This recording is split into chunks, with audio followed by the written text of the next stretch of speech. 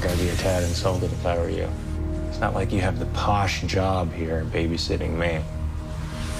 I mean, there is a sort of old-fashioned rightness to it, if you think about it.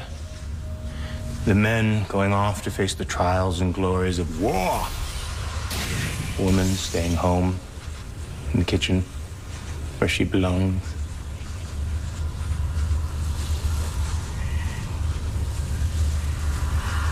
I know you're trying to bait me with your seeming Neanderthal misogyny. Anything to distract yourself from your profound, deeply emasculating humiliation.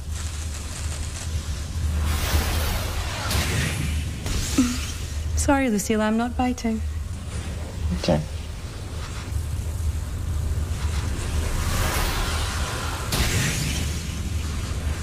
Oh, Camptown ladies, sing this song, doo da, doo da. A Camptown racetrack five miles long, oh doo da day. To run all night, going run all day. I bet my money on the bobtail mag. Somebody bet on the grave.